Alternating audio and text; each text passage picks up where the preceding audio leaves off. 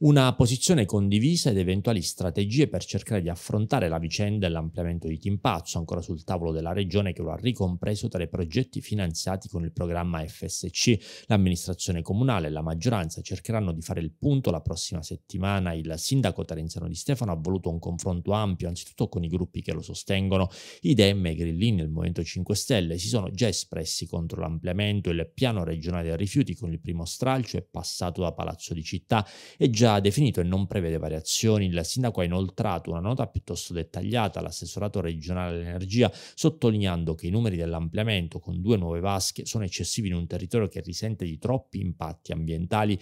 Vuole inoltre prevenire qualsiasi ipotesi di termovalorizzatori che il governo regionale comunque pare intenzionato a realizzare con tempi tutt'altro che certi nella zona palermitana e in quella che fa riferimento a Catania. La prossima settimana quindi amministrazione e maggioranza faranno una valutazione unitaria.